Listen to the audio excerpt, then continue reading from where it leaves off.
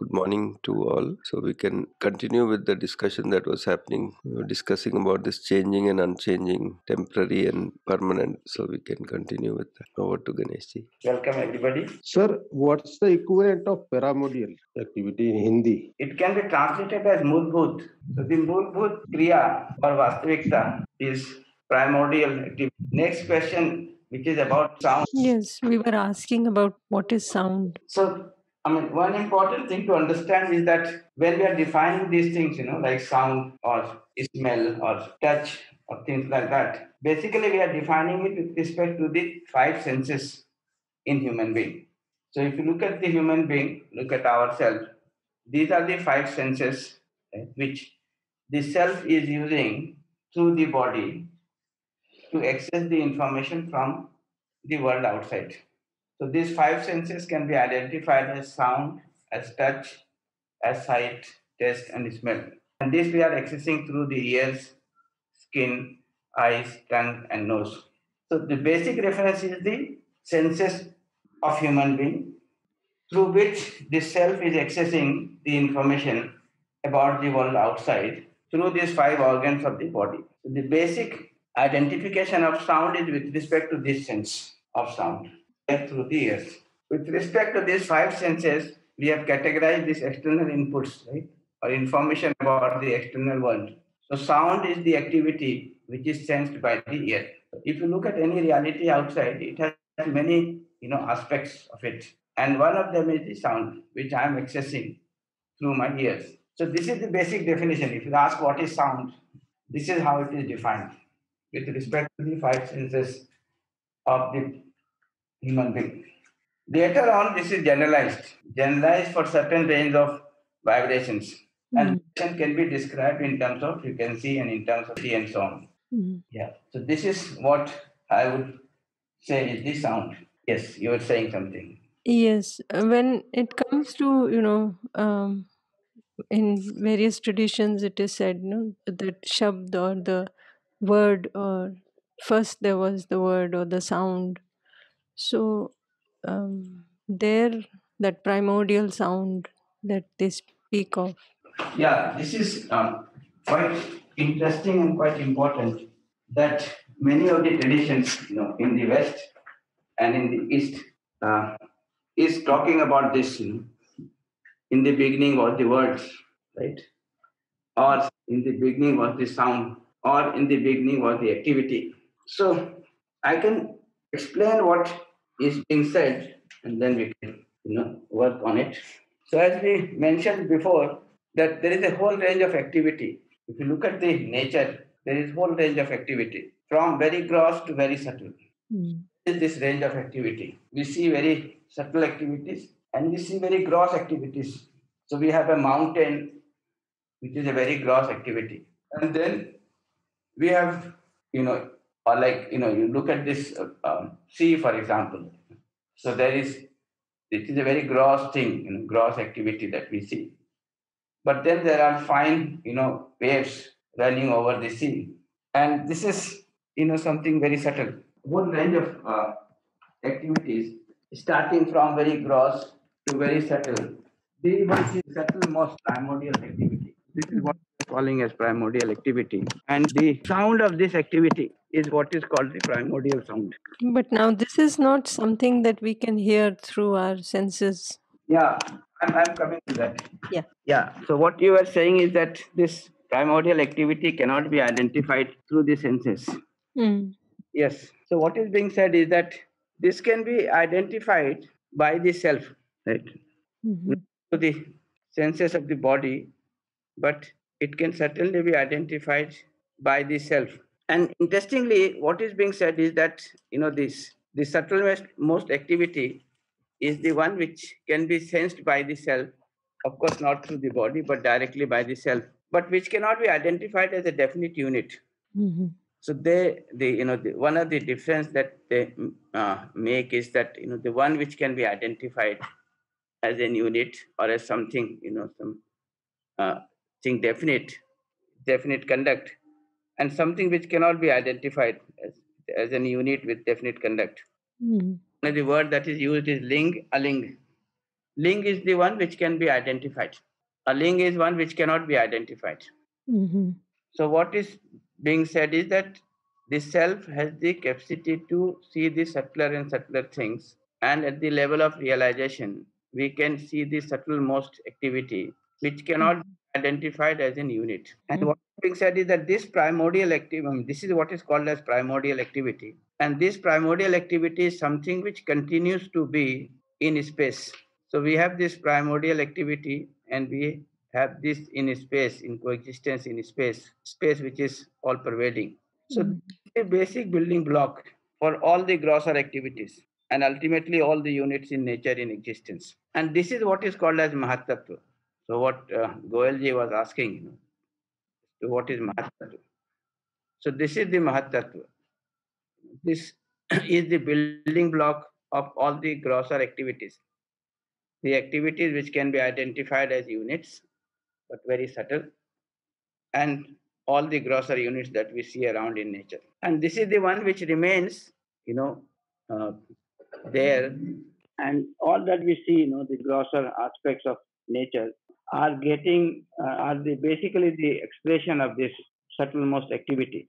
So when you are able to see this subtlemost activity, then you are able to see that all that you know is taking place in terms of creation of grosser and grosser units and also the you know destruction of it. Ultimately you know it is there at the level of this subtlemost activity at the level of this primordial activity. So if you look at this patanjali yoga sutra for example it says that when we go about looking at the subtle things the subtlemost that we have to see is this activity which is aling, which is unidentified as a unit with definite conduct. But you can sense it that yes, there is an activity, there is a movement, there is vibration. But it cannot be identified as a unit with a definite conduct.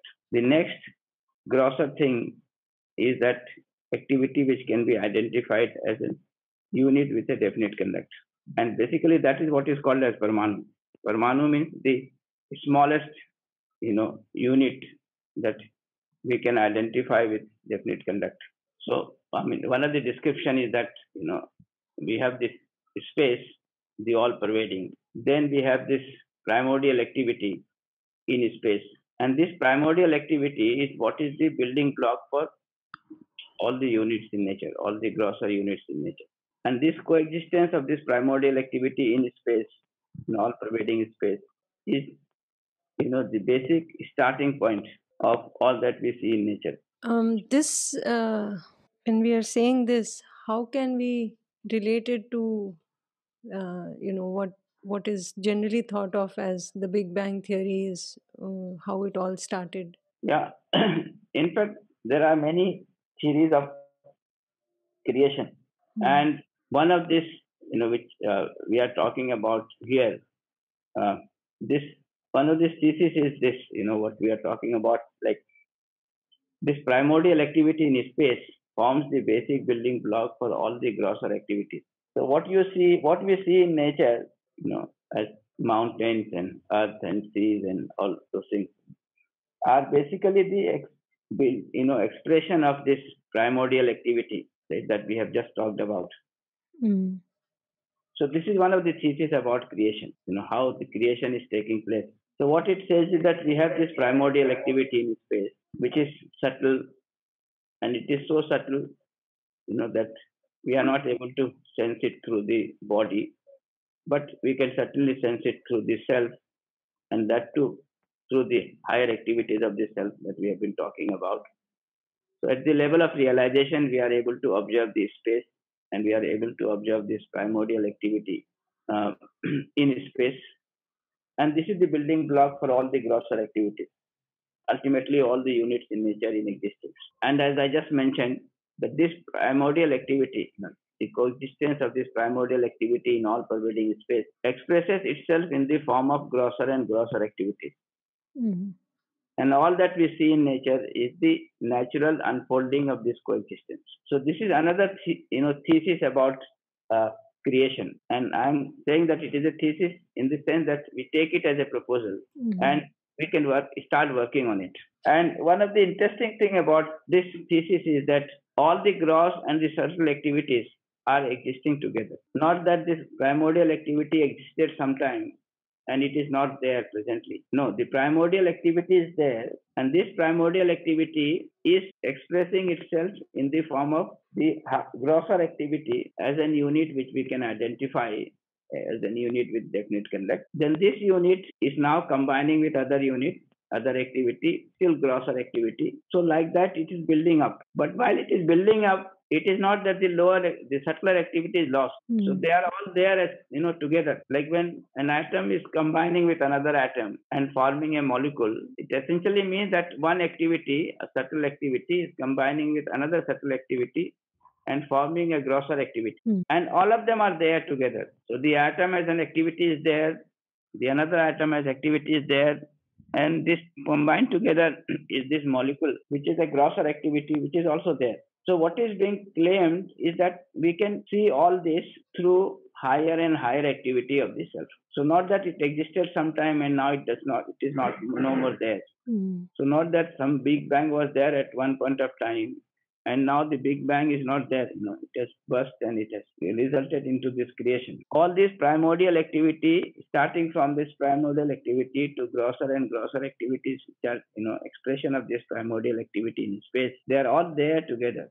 And if we develop the capacity of the cell if we develop you know this capacity to see things through higher and higher activities of the cell we are able to see all these activities together. All the grosser and the subtle and the subtlemost activity together. So here and now it can be verified. But to verify this right ultimately it is the self who is going to verify. Verify this we have to develop our capacity of higher level of activity of the self mm.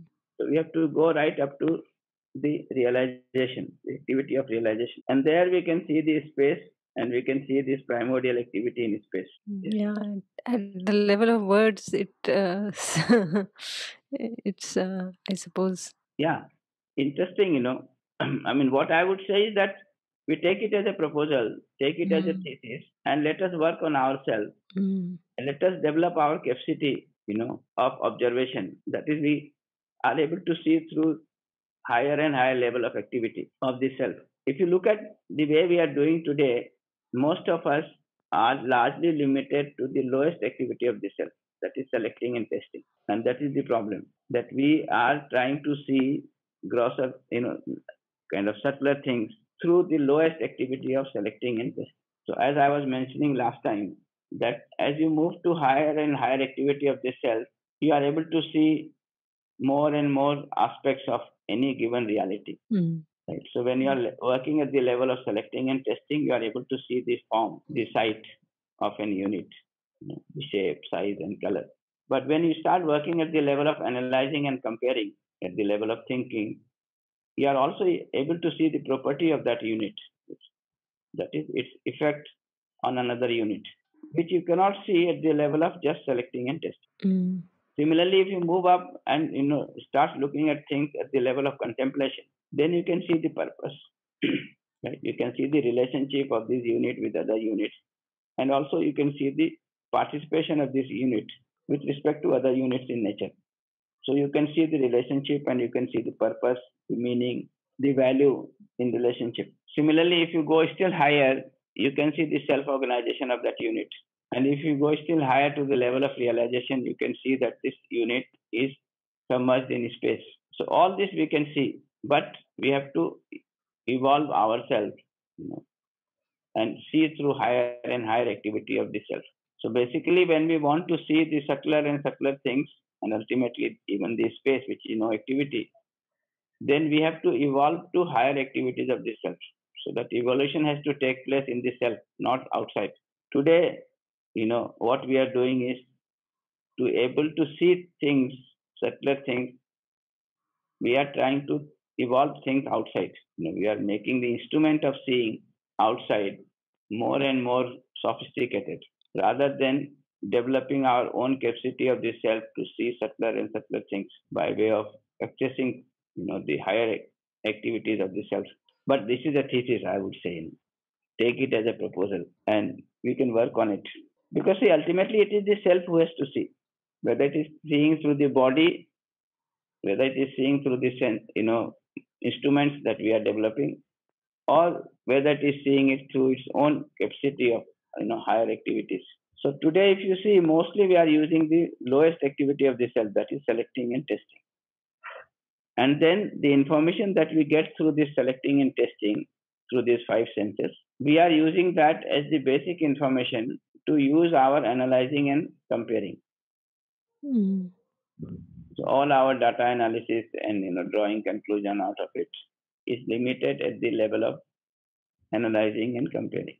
We are not even going to the level of contemplation, where we are able to see the relationship and we are able to see the participation relationship, the purpose, the value. All that we are talking about, you know, in value education is that you know we should at least move up to the level of activity of contemplation Mm. in itself. Then when we come down to analyzing and comparing, come down to the selecting and testing, we can see this with a purpose, with relationship, with values. Otherwise, it is all directionless, purposeless. At least we don't understand the purpose. It seems like a very formidable task, though, because uh, I mean, uh, self is uh, like a one small unit, it seems, compared to this whole vast existence. So, to be able to appreciate right from the primordial sound to everything um, seems like quite a task. Yeah, but it is very interesting, I would say. Mm. Even now, what we are saying, we are saying that this, let's say, for example, this, you know, sea, so much of water in sea is basically, you know, a lump of molecular structure, right? Now, this is what we are saying, isn't it? Mm. And then we are saying that the um, one molecule of atom of water is made up of, you know, hydrogen atoms, two hydrogen atom and one oxygen atom. And then we are saying that this hydrogen atom is also consisting of still, you know, subtler um, kind of uh, unit, right? Call it subparticles, you know, or something. Mm. So this is what we are trying to understand, even through science, through experiments in the world outside. And what we are doing, we are making certain observations right through these five senses, Mm. and then we are working on it in terms of drawing references, I mean inferences out of this data that we have observed through the senses, through the physical senses. But who is doing all this? The self is doing all this, right? But with the help of a lot of instruments and lot of other things. Yes. So So Mm. what is being claimed is that it's good to take help of the body to access information. It is also good to take help of the instruments you know, to get the information about the world outside through these five senses. So all these instruments that we have, ultimately we are using it through these five senses. Mm. So it is good to do all this, but ultimately we have to evolve, you know, the active, you know, level of activity of the cells. Okay, so it is good to make your senses of the body finer. Good to make the instruments finer to observe, you know, subtler and subtler information. But ultimately, we have to evolve our activity of the self, you know, higher activity of the self, so that we can see the subtler and subtler things, which is going to go through right you know, up to the primordial activity and the space Mm. and the coexistence of the two.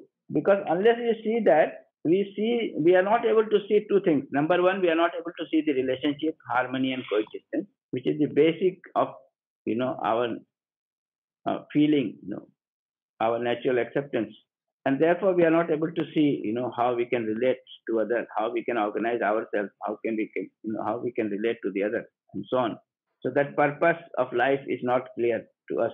Mm. And second thing is that we are not able to see something which is at the base of all this we see, you know, so much of variety in nature.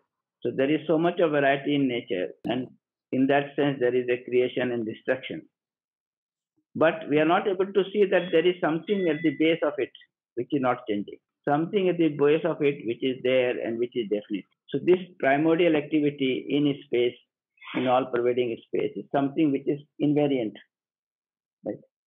all creation is taking out place out of it, and all destruction is ultimately going to this. And this is important for us to see because when we can see that yes, every creation is taking place out of this or is a natural expression of this, and it is going back to that. I am not, you know, disturbed by the creation or by the destruction. So I can be with that definiteness that yes, all this creation and destruction is a process of unfolding of this primordial activity and then going back to that primordial activity. So you are with that primordial activity which is unchanging, which remains as it is. So you are not disturbed by the creation or by the destruction of this whole nature. And lot of thing has been talked about this, you know, that all our uh, problem is because we are not able to see this basic thing. So any creation, you become excited, right? Any distraction, you get depressed. So it has to do with your happiness and happiness, your excitement or your state of peace, you know, peace, state of bliss. So all our so-called happiness and happiness is a state of excitement that we have been talking about right from the beginning. And this excitement is coming and you know in the form of either getting you know into uh, ego or getting into depression is because we are not able to see this primordial thing you know which is basic building block for all this creation and destruction. If we are able to see that then we are at peace. You know we are in a state of bliss you know undisturbed by this process of creation and destruction. So a whole lot of description is given about the one who is able to see this primordial activity in space, in all pervading space. So a lot of description about this Sthita Pragya, the one who is able to see this primordial activity in space and is established in this understanding, this knowledge. But you know, this seems to be a very formidable task. But what we are trying to say is that let's bring it to education. Let every child get exposed to this and let them take it as a thesis and start working on themselves. We have tried this with the external world, with the external instruments, you know, making them finer and finer. Now let's work with the self also. Mm. Yes, let's work with the self also and see whether it works or does not. Yeah, even though it does seem formidable, that need to know is so strong that you feel that you have you one has to work for this. Yeah. Yes. And it is good to have these instruments, you know, which can see finer and finer details, subtler and subtler things outside. But it is also good to work with the self. Mm. And what we are saying is that if you are working with the self, you will work with values. Because if you evolve to the level of contemplation, you can see the relationship and you can see the values in the relationship. Then all your science, all your technology will be value based. And this certainly will be fulfilling for you. Today, what is happening is that we are evolving these instruments outside, but it is not leading to the fulfillment within. So it you know we should do things which are leading to fulfillment outside, but also leading to fulfillment within. So the instruments are becoming more powerful. The self is becoming less powerful, or feeling helpless. But this is all proposal. I mean, I would say that let's take it as a proposal and start working on it and slowly make it part of education, you know, mainstream education, where every child is exposed to these possibilities and they start working on it. You know, they do research, development, extension, all they should do, but let us give it as a possibility.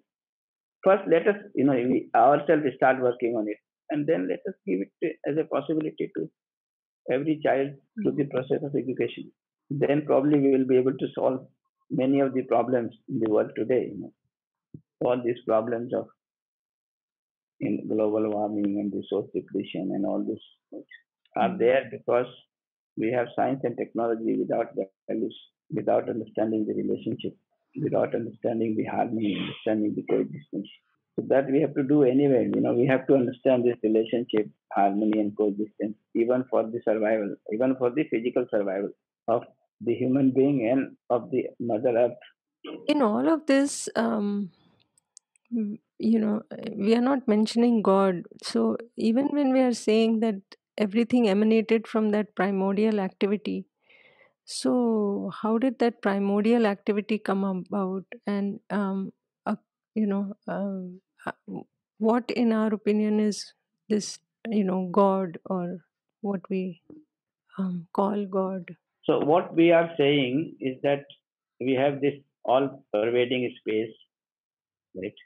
And we have this primordial activity you know, in all pervading space, right? And this is the building block. You know, this primordial activity, the subtlemost activity, is combining with, you know, and forming this grosser and grosser activity. Mm. Right? And this grosser activity is what we are seeing as different units in nature.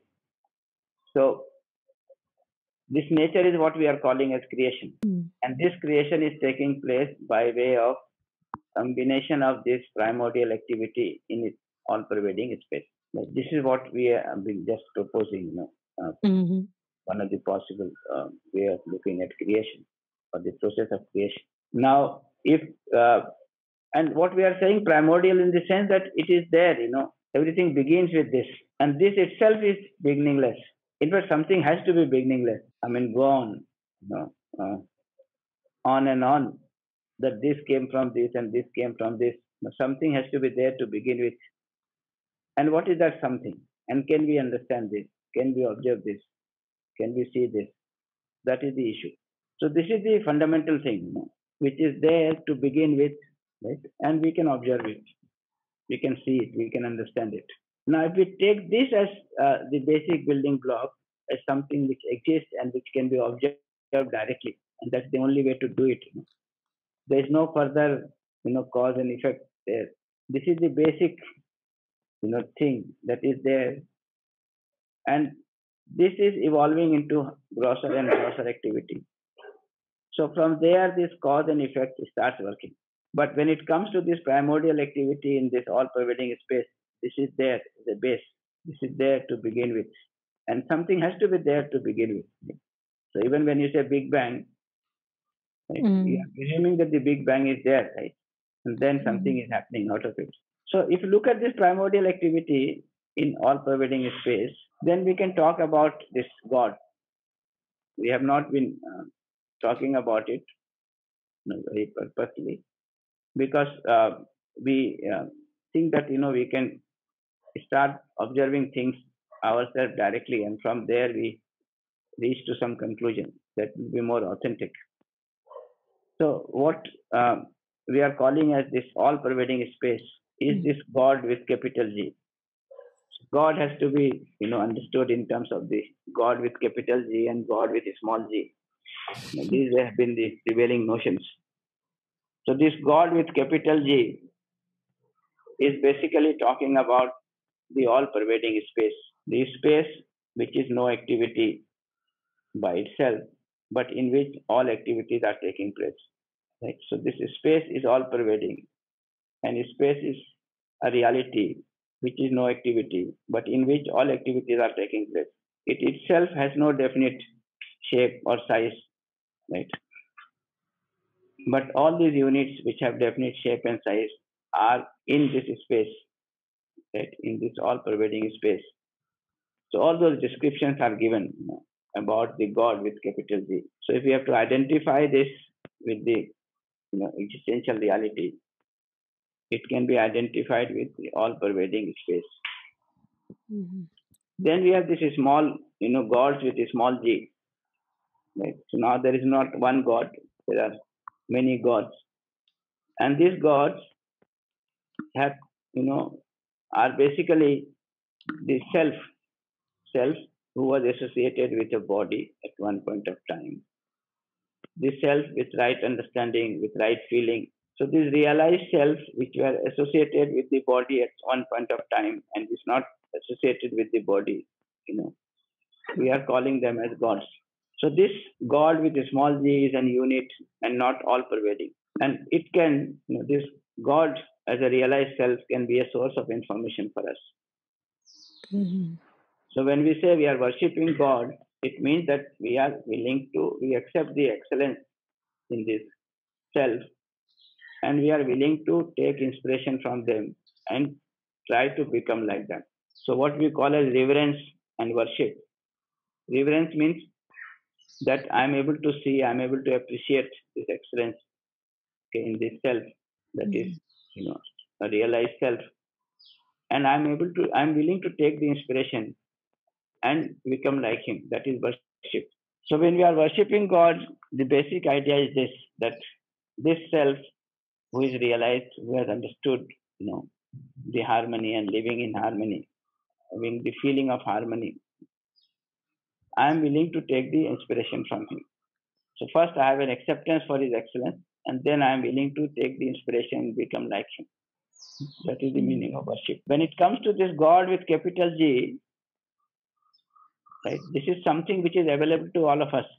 You know, it is all pervading. All of us are in this space, this God, capital G. We only have to realize. We have to see that this, this is available to all of us and we are all in this space, the all pervading space.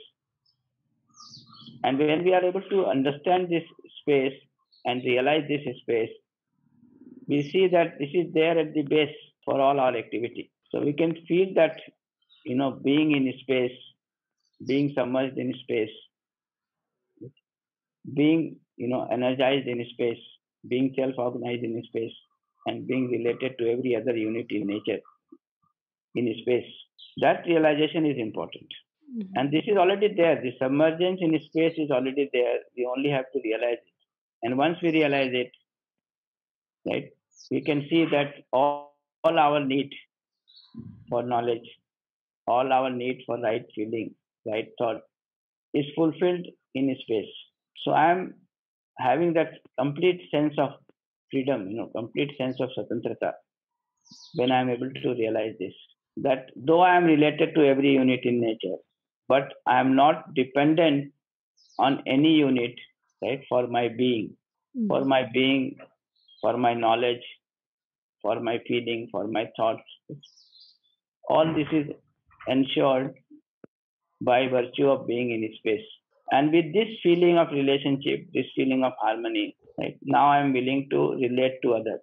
That is the meaning of having this feeling of love and compassion, which is based on the realization of this coexistence, realization of this submergence in space.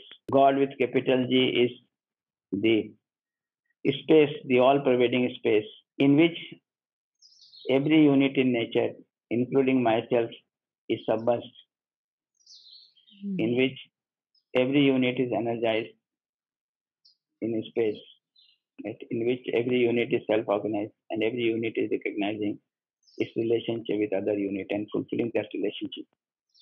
This I can realize for myself.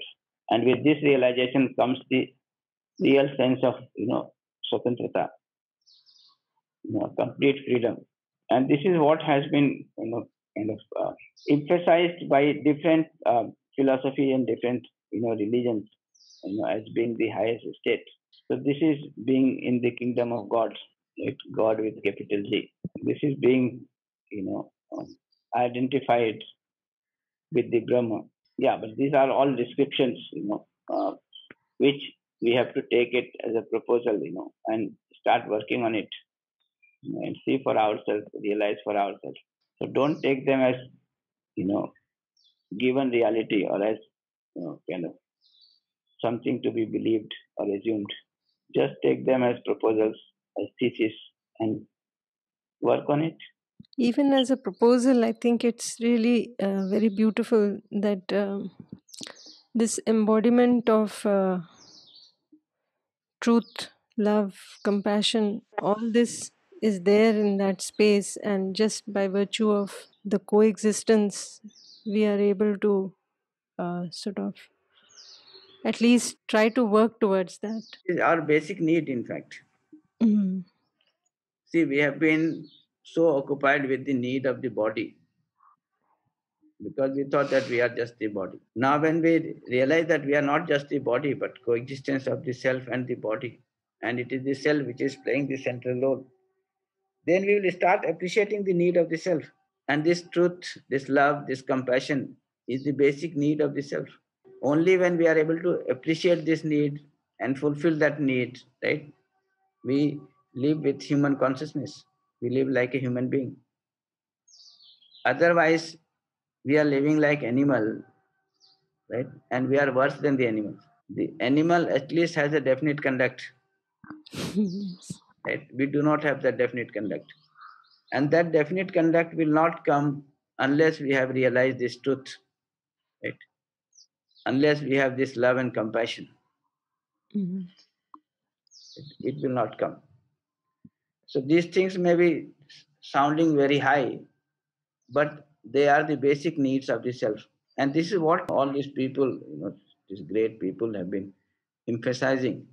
You know, be it Christ or be it Buddha or all these people. Mhm. This is what they have been emphasizing. I mean, the whole lot of stories you know, trying to indicate this. Seem that, and this, I mean, take it as a story. So when Buddha realized himself, he was requested by this God, small g, you know, that Mhm. you know you can now enter into the space of you know this complete freedom. Okay. And he said that no, no, I will face towards the world and I will wait and work, you know, for everyone to realize. So that need for everyone to realize is there, whether we are working on it or not working on it. And that is what we are saying that this is the role of education. The role of education is to help every child to transform himself from animal consciousness to human consciousness so that ultimately they can be source of human society from inhuman society this is Mm. what we said in the first session right if you look at the first session of UHV, this is what we are saying that the role of education is to ensure this true transformation. Transformation from animal consciousness to human consciousness for every individual every human being. And transformation from inhuman society to human society as a collective you know effort of human being and the whole nature. So this is sounding very high but this is the minimum that is required for us to live with human consciousness in a human society. You had mentioned about you know that God with the small g as somebody who is realized but no longer associated with the body. So, what happens when a person dies? What happens to the self? see many of these questions you know um, we have not been um, i mean uh, or rather many of these issues we have not been uh, taking up uh, very purposely because uh, you know then too many statements which have to be you know um, explored and investigated and you know um, come to some conclusion Mm. uh, if we put too many of them then it creates more you know kind of confusion so what we have been trying to do is you know trying to take up those uh, proposals to begin with which can be you know investigated and verified Mm. I mean, to the best of our uh, you know, kind of uh, effort we have been trying to do this. But there are such questions and you know so we try to respond them to them as just giving you know the possibilities of exploration. Yeah, to verify this, we would have to die then. yes. So this uh, uh, i mean um, not that you have to really die because people who have investigated have uh, done it when they were alive you know associated with the body you know, but there are ways.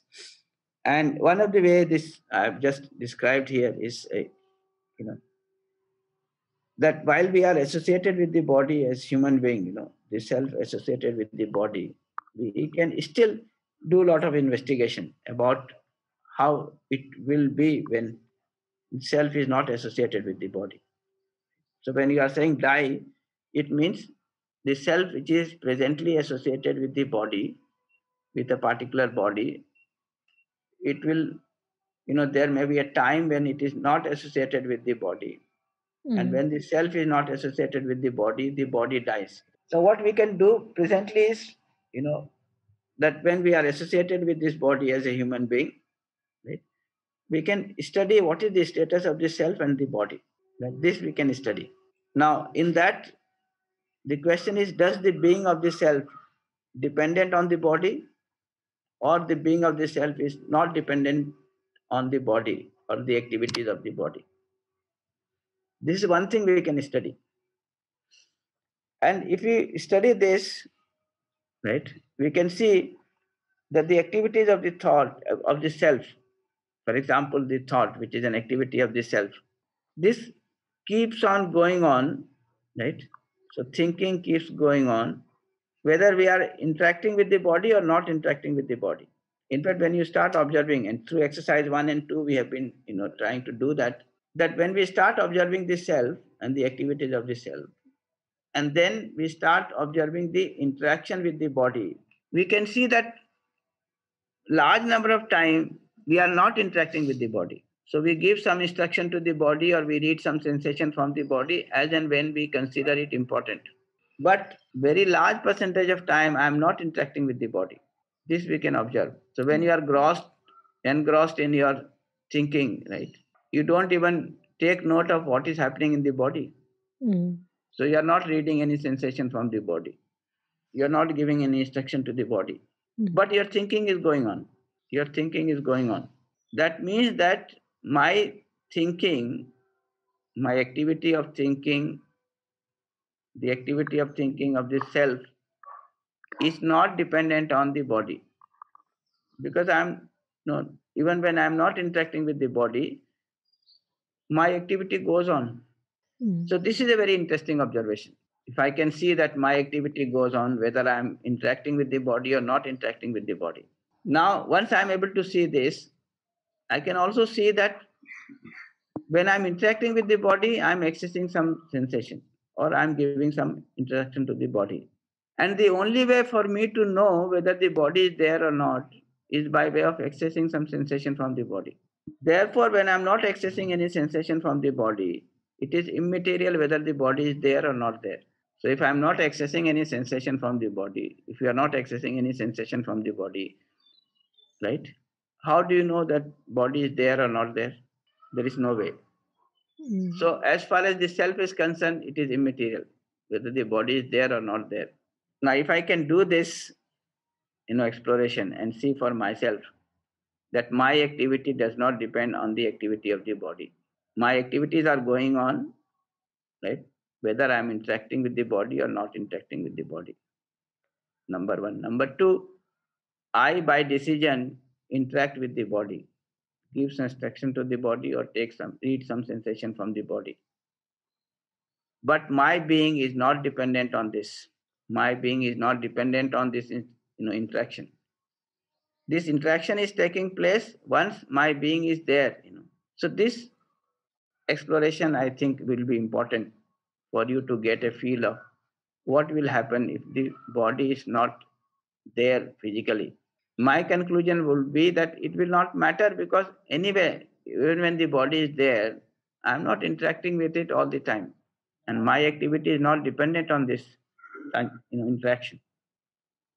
I interact with the body, transact with the body as and when I find it necessary. And most of the time, I'm not doing it. So even now, more than 90% of the time, I'm engrossed in myself. Sometime when I find it important, I interact, I transact with the body. So at least those 90% time I can see that I exist, you know, without interacting with the body. So this we can see even before we part away from the body.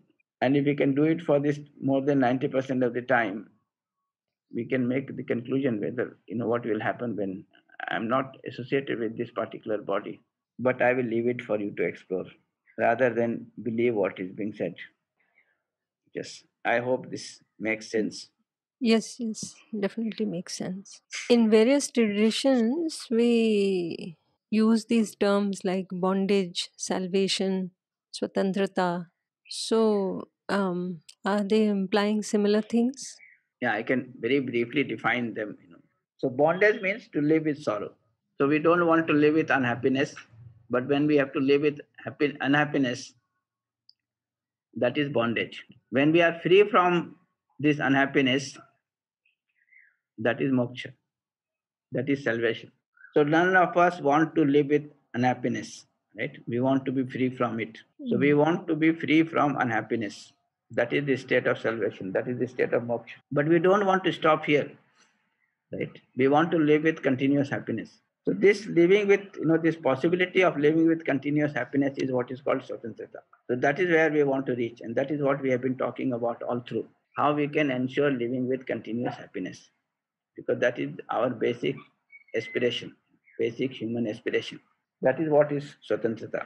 When we are living with continuous happiness, we are certainly free from unhappiness.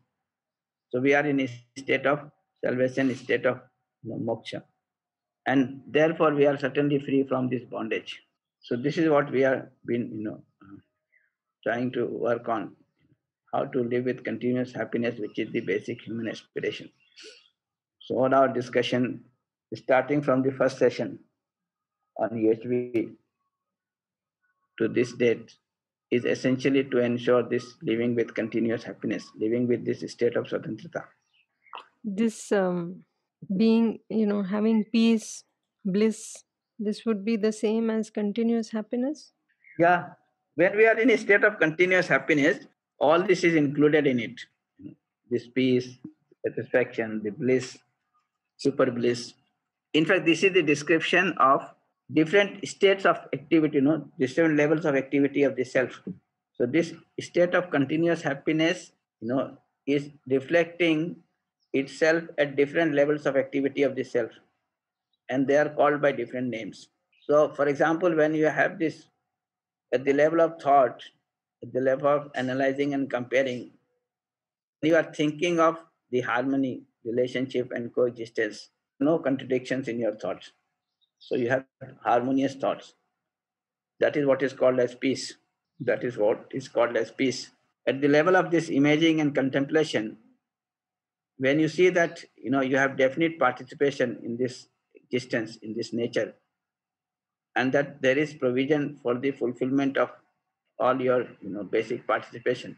So your desire becomes definite and you are assured that you know the, the fulfillment of the desire will always take place because that is the way the nature is that is the way the existence is.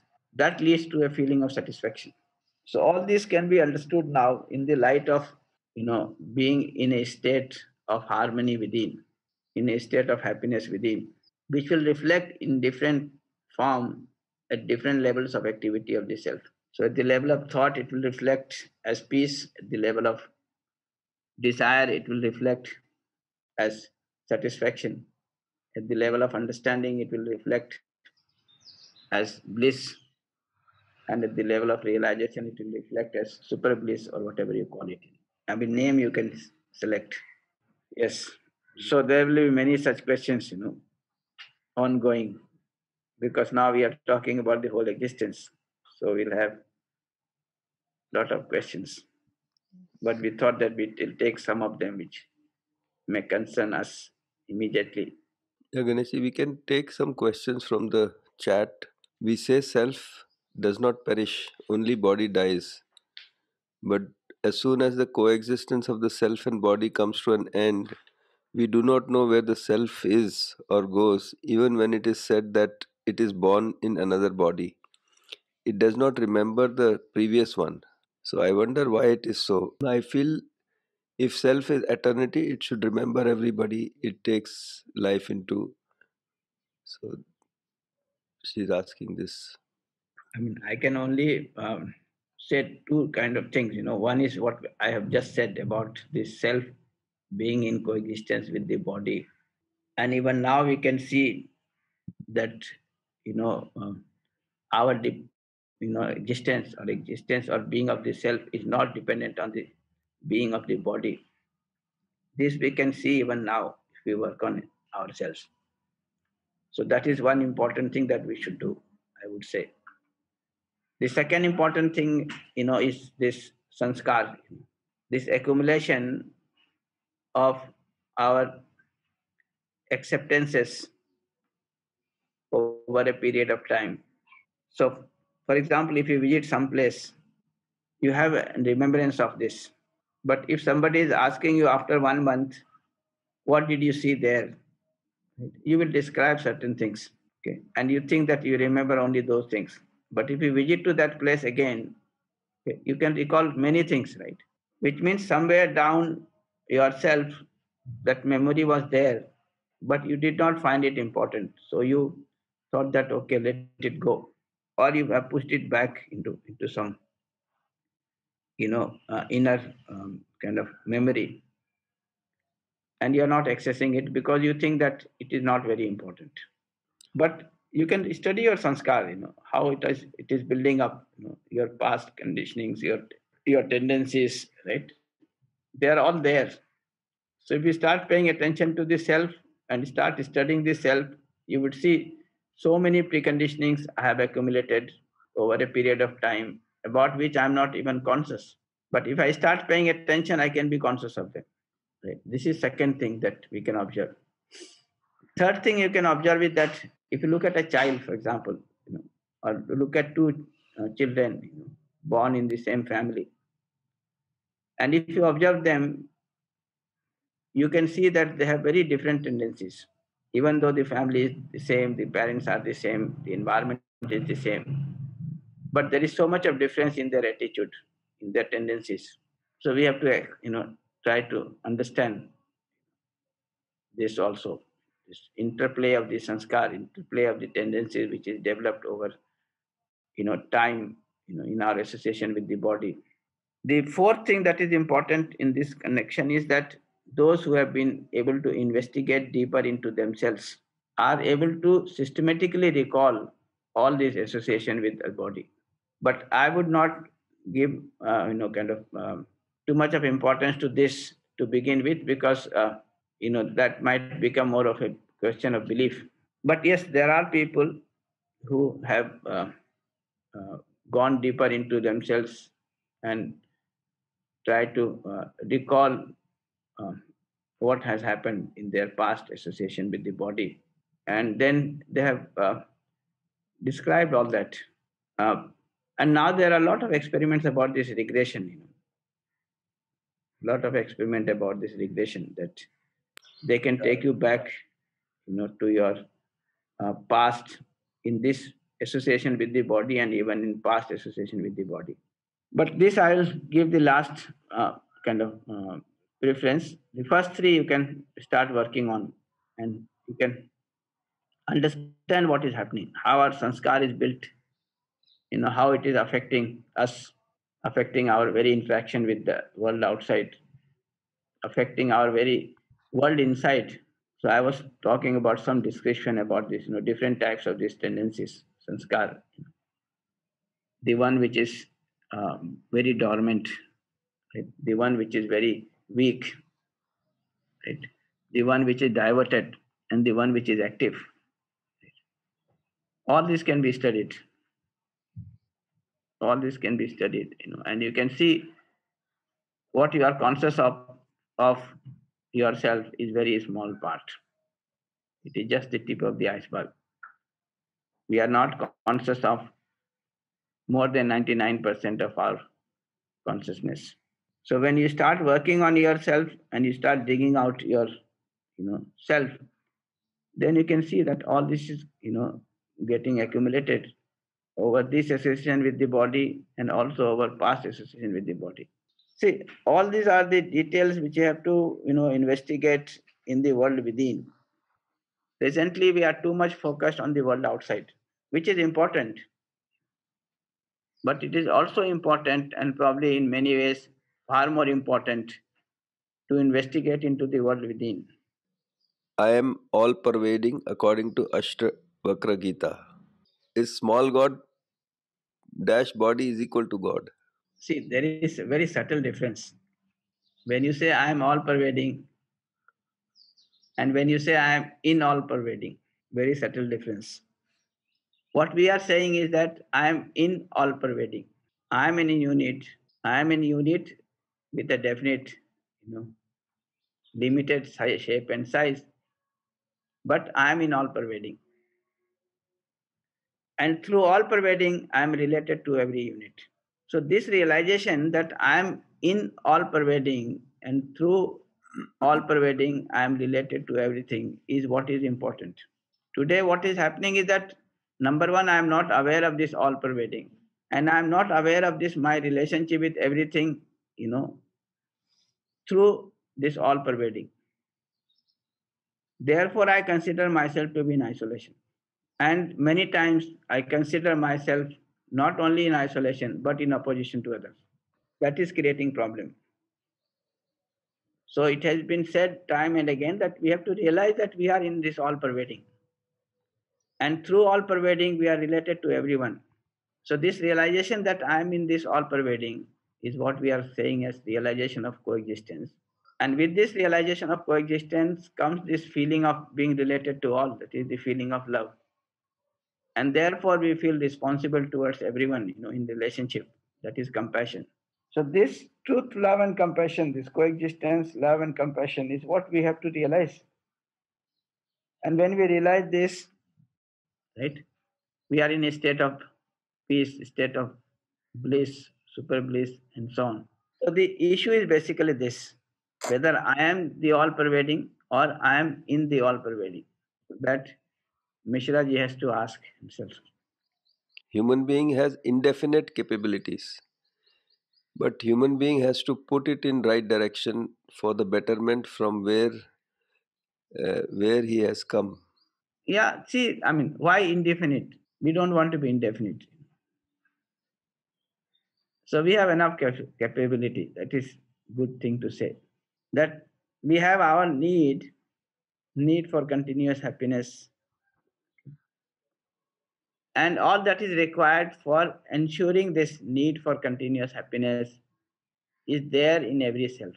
We only have to work on it. This is what we want to say isn't it? Why call it indefinite? So this understanding the scope of understanding or scope of all this is definite? Yeah definite. We can understand the whole existence and be in coexistence with this whole existence. That is the scope, which is very definite. Yeah.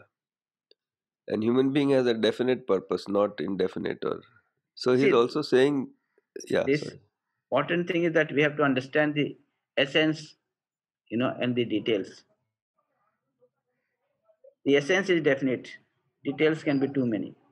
So when we focus on the essence, they are definite. And we have this definite capacity to understand this essence and be with this essence. That is understanding this coexistence, harmony, and relationship, and be with this coexistence, harmony, and relationship. This is definite. But when you look at the expression of this coexistence, harmony, and relationship, you see so many varieties, right? We do not know how many types of trees are there, you know. So when you talk about these different types of trees and the number of trees, it becomes innumerous. But that is not of importance immediately, you know. What is of importance is that essence. And that and we have the definite capacity to understand this essence and be with it. And as and when required, I can, you know, get the details, get the necessary details of a particular tree, you know, time of its fruiting and the way it germinates, the way it grows, the way you know, it fruits, flowers and fruits, all that. He's also saying that uh, we are many God and working together for the God with a big G. We are many small God and working together for big uh, this God. See, we don't have to do anything for that big God but this big God is complete in itself. So we have to do something for ourselves and for these other small gods. Yes. Yeah, that is what we are trying to say. That we as human beings have to understand the harmony and live in harmony, right? For ourselves and for others and for everyone, for the well being of all. But for that capital G, which is the all pervading space, we don't have to do anything because you know it is complete in itself and it is no activity so whatever we have to do we have to do for the units in nature be it human being or otherwise. Yeah and when we have the right understanding we are in uh, you know uh, complete in ourselves and we don't have to do anything more for ourselves but we are participating with others. That is that uh, what it is? Yeah but when you are doing doing something for the other this other is not the space Ah, the other is not the space. Other is other units in space. Does God mean God, Allah, Prabhu, Lord, etc. from all different religions? Yeah, so these different religions are talking about, you know, either the God with capital G or God with small g, right? And when you say God with capital G, it is one, right? When you say gods with a small g, there can be many, right? So that pluralism can be there. So you have to find out, you know, take each religion and find out what you know it is talking about. It is talking about this capital G, or it is talking about this small g, God with a small g, and many such gods. Right? That we have to work out. And many of the religions is talking about both the God with capital G, which is basically describing about the, you know, the uh, uh, all-pervading space, and they are talking about this small g, okay, these gods, which are basically the realized self or the self which are now working at the higher level of activity of the self. We have tried to understand the harmony and live in harmony, try to understand the relationship and live in relationship. This is what we find in most of the religions. And that's what we are trying to do. In, in fact, when we are talking about these courses, you know, Uttar Pradesh Technical University is offering a series of courses on human values in different darshan. Human values in Vedic darshan, human values in Bauddha and Jain darshan. And now we are you know, developing this course on human values in Christianity and Islam. So there we are trying to find out uh, how and what they are talking about this God with small g and this capital G. So that work has to be done. With this clarity about the existential reality, we can now, you know, um, appreciate how these different religions have been trying to uh, sensitize human being, you know, people to these higher possibilities of uh, uh, human existence.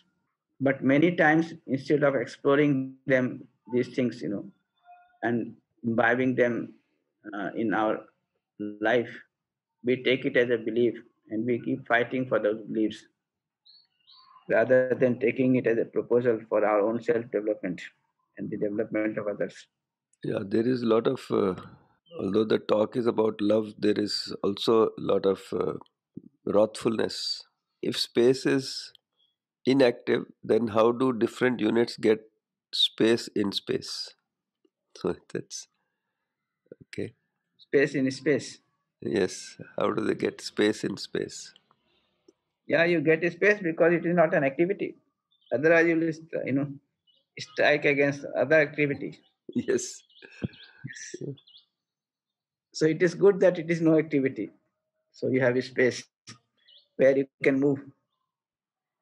If it was an activity, you were uh, banged against it, right? Then you wouldn't have space to be anywhere, isn't it? An activity going on, something is there. Yes. Then you can't be there. I mean, no other unit can be there. Yes, such a beautiful system it is that you have so much of a space and so little you know, activities, so that there is enough space for every activity. You can move around. Is the coexistence with the human body has a specific purpose? Who and how and who decides it? No, this is what we have been trying to find out. Yeah. We are trying to find out that our basic aspiration is that of continuous happiness. Right? This is the purpose. Yes. This is the purpose of human being. This is the purpose of the self. And this purpose is fulfilled by way of ensuring right understanding, by way of ensuring right feeling, right? Now this becomes the program. And this program can be fulfilled through the body also, right? So body is a good instrument to help the self develop right understanding, right feeling, right thought, and also expressing it in relationship. So it is basically the purpose of the self program of the self in which the body is used as an useful instrument right to realize this purpose. So if you look at human being this is how it looks right? That here is a self associated with the body with the purpose of ensuring continuity of happiness or living with continuous happiness and in order to do this, it has a program of understanding the harmony and living in harmony. And for this fulfillment of this purpose, it is using the body as a useful instrument. Does it make sense? I think many of these things, uh, each of us has to explore them because even if there is an answer and we are not able to see the answer or see the, you know, we are looking at it as perhaps logic Yes. uh, or comparing it with something that uh, is uh, in our belief True. and So trying what, to come to what I would say is that what we are giving is not answers but proposals which you have to verify. And only when you verify and see for yourself, they are answers for you. Yes. Otherwise, it is just a proposal. content of our thoughts or imagination is either our memory or objects that we are seeing in the present moment. So when self leaves the body not sure memory gets wiped off. So this has been i think addressed. Yeah, I mean, I'm saying that now that we are associated with the body, let us make those observations that I described, yes. Right? Those four things that we said, you know, you can observe and see what happens when you are not associated with the body. And I'm saying that you are now you don't have to part away from the body, you know, to experiment on this, because most of the time you are not associated with the body. You know, you are not interacting with the body, and when you are not interacting with the body, it is immaterial whether the body is there or not there. So most of the time you are busy with yourself. You are not bothered whether you, the body is there or not there. This we can observe right now. how to understand the purpose behind my coexistence with my body that means if the body is there then what is my purpose without the body there might be you know I told I told this, you know, that yeah when the body is there, I'm using the body as an useful instrument for my purpose. When the body is not there, I'm working with myself because that purpose is there with me all the time, and I'm working for it. When the body is there, I'm associated with the body. I'm using this body as a useful instrument, helping me in, you know, uh, fulfilling my purpose. Now there are many participants here also yes we can with us. If they have any question, I can take them up. And we have a uh, workshop going on here, workshop on nonviolent communication. okay okay okay So there are around 35 people, uh, some 20 of them from um, uh, outside Kanpur.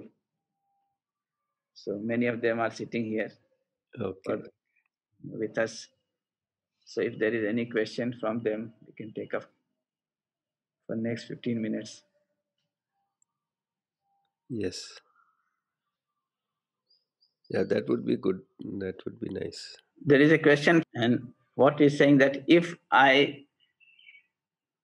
part away from this body and if i have to take this you know association with another body what care should i take now so that i at least do you know things in a proper manner in the next association with the body? Is that the question? Yes.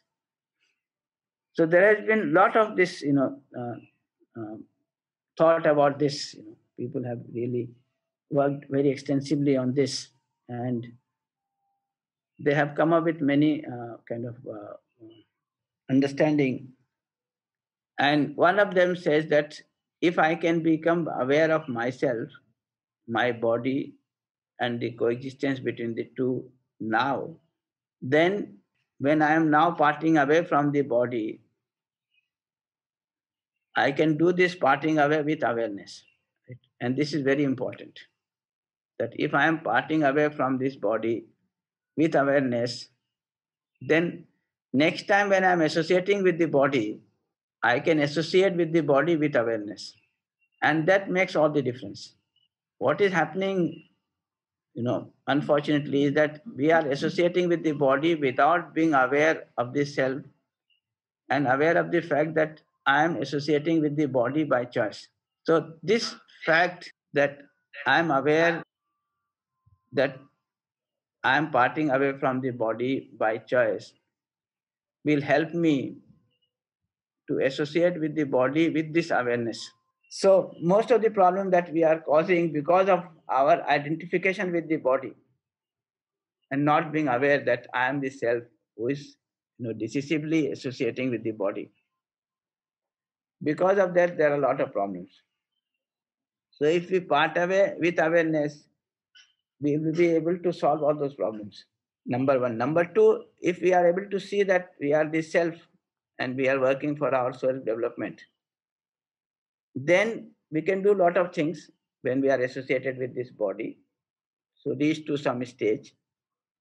Next time when I'm associating with the body, I will start with that awareness that yes, I have traveled up to this point. And now I have to work further for my self development. And this body is a good instrument. So I can rightly utilize this body as a good instrument for my further development. So the best thing to do now is to start becoming aware of the self, start becoming aware of the purpose of the self, start becoming aware of the program of the self. Then start becoming of the body and how I'm using this body as a good instrument. So if I do all this, and you know use this body as a good instrument depending upon what is the status of the health of the body and then when i find that this body is no more useful i can part away from the body with awareness right? So if i do all this you know when i associate with the next body i will continue with this program in fact you see many of these great people you know at a very early age, at the age of six, seven, they have started working on themselves. And these are the people who have contributed so significantly even to the society.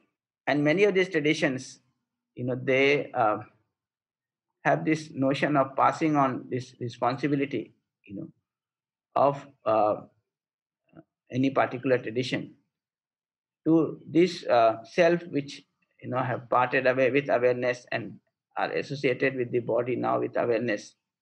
So at the age of 3 4 they will identify such people you know and give the responsibility. Like in tibet we have a whole lot of this tradition that there is a tradition called bardo balod and this bardo says that when you are parting away you part away with awareness. So there's a whole lot of system, you know, how to make you aware when you are parting away from the body. And then there is this tradition that, you know, at the age of three, four, you know, you are able to identify these people who, you know, this self who have been uh, seriously involved in this self-searching. And then they have associated with another body. So you pick them up at the age of three, four, five, you know, and then place them in the whole process. So yes, it can be done. It can be done, you know, in the sense that you do it now when you are associated with this body. And then when you are parting away, you are aware of it, you know, and you part away with awareness. And in the next association, you are associating with the body with awareness. So for you, it will be just like, you know, moving from one place to another place but your program remains definite your you know purpose remains definite and if this can be made as part of this you know mainstream education then a whole lot of work can be done for every child we can you know help them to see their ultimate purpose and the program and also help them to evaluate where they stand how much they have traveled you know and what they have to do next so we don't even have to wait for the next association with the body. Right in this association with the body, you know, they can help, and we can help them to understand where they are with respect to their own purpose and program and how they can go further. And if you are going with that awareness, yes, the next association will automatically, you know, uh, be uh, kind of, we would have advanced to an extent that we associate with the body with awareness and then continue with our program. I mean, the important thing is that we have to open up this area, you know, which is more or less closed today. This area of the self is almost closed today. Uh, sir, my question is that if the uh, self is uh, aware and uh, when it's part of the body, leave the body, in the next uh, life, is it that the self will choose which body he has to choose? Because according to liking, he can he or she can take that body according to their skill he uh, developed in the past or in the past life. Yeah, as a sum total of our accumulation of uh, uh, sanskar, we make this decision. So I keep giving this example that if you take this, you know, workshop that we conduct, if there are 100 people in the workshop, in two three days you will find some eight ten groups formed right? And like-minded people. You have not done anything. You have not made the group you know. But they have formed the group depending upon their sanskar their interest their likings. And you can understand you know how it has happened. So like that we are always making choice. But we are not aware so how did you pick up those 10 people around you? And you did that, right? Similarly, you keep making choice.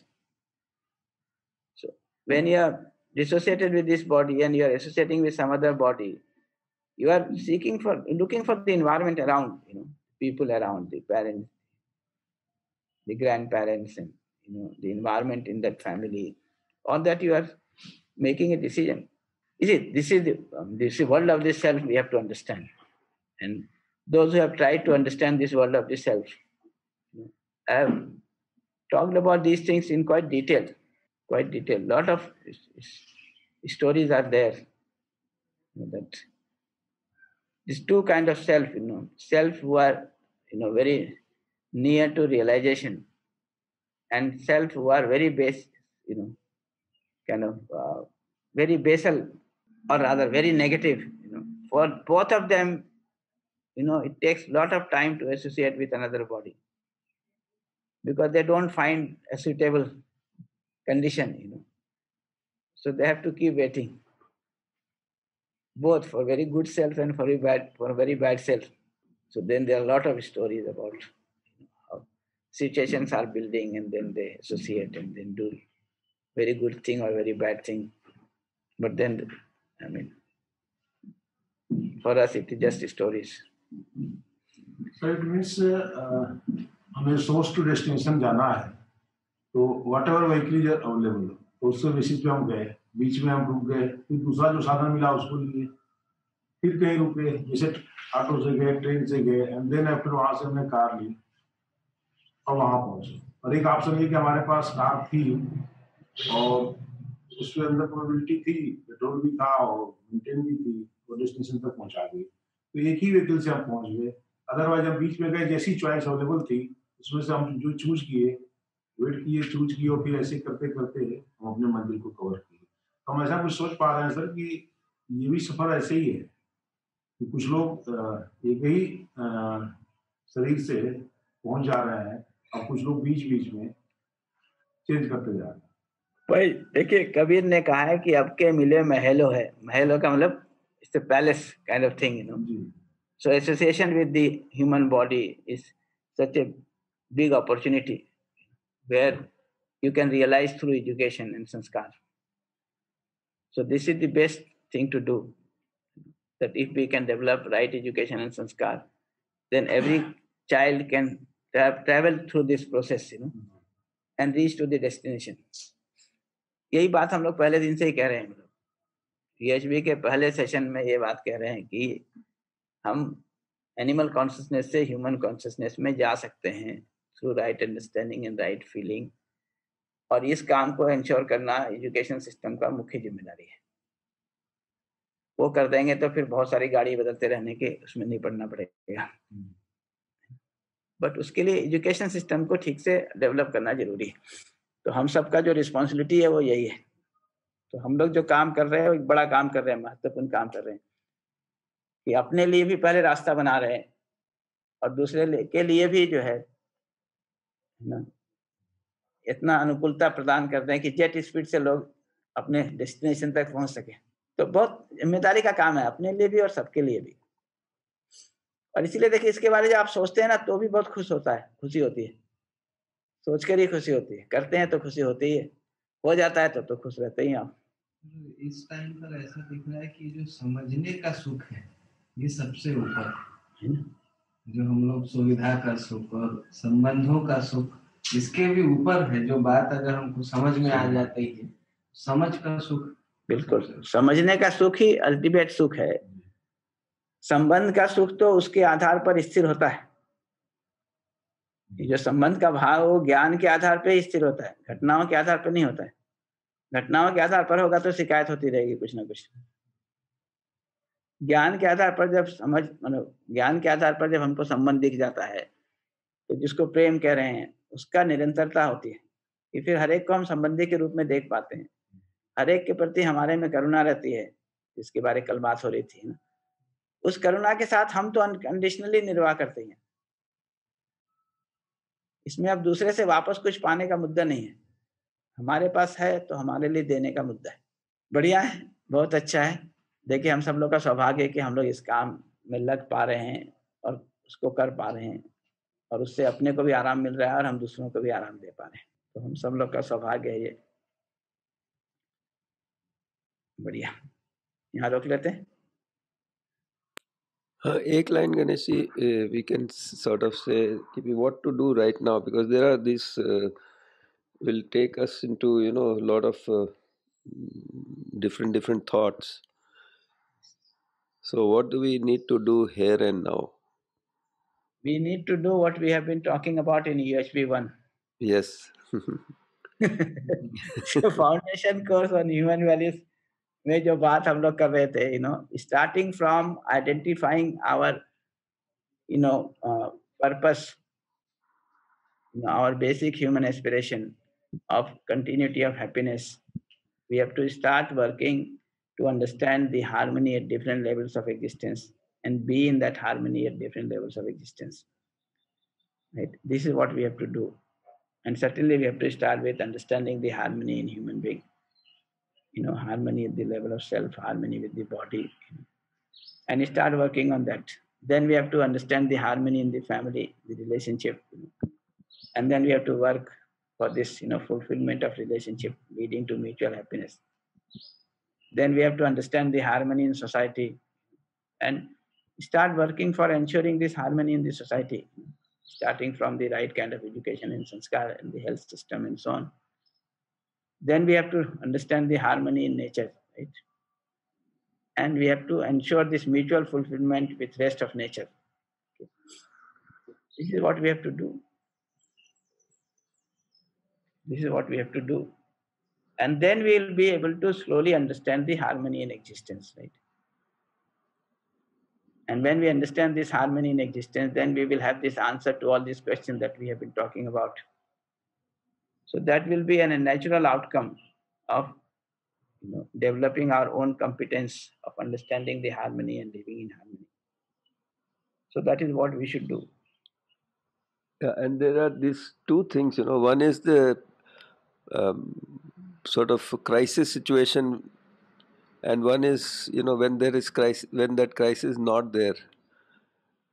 So there is some homework that can be done, you know, in the education in the when this crisis or whatever is not there yeah. so there's plenty of time to do that yeah in fact what we have been talking about right from the beginning is that you know we have to work for this transformation to human consciousness and transformation to human society And the best thing to do is to work through education and sanskar.